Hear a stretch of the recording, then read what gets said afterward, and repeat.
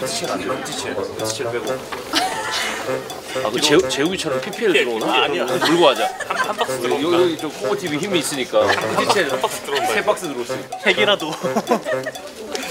저는 사인만 하는데 다른 애들은 이제 그림도 그리고 하더라고요 TV 파이팅 이렇게 아무거나 적던데? 항상 감기 조심하라고 그냥 제일, 제일 먼저 눈에 가는 데 던지겠습니다 사인이랑 어, 한자랑 영어랑 같은 이유가 있어요? 한자로 쓰시는? 되게 쉬워요. 아, 되게 쉬워서 멀리 있는 팬분들한테 음. 2층 넘어서 오, 짱 길게 썼네. 새해 복 많이 받으세요. 안전운전 하십시오.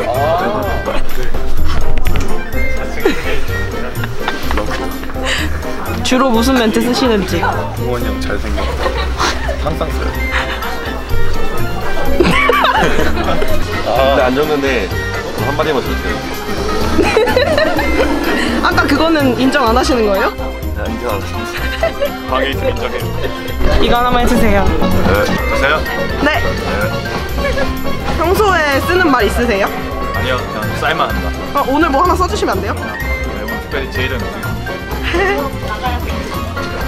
어느 쪽에다가 던지실 생각이세요? 최대한 가까이 설 인사 한 번만 해주세요. 새해 복 많이 받으십시오 네 감사합니다. 평소에 쓰는 멘트 있으세요? 아니요. 오늘 하나만 써주시면 안 돼요? 오늘 써요? 네.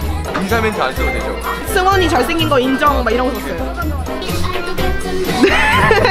감사합니다.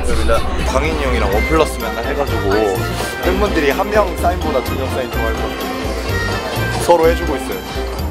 원 플러스 원의 묘미는 한 사람 무조건 작게 해야 돼.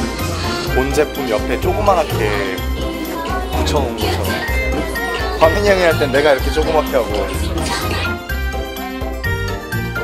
새해 복 많이 받으세요. 복 많이 받으세요.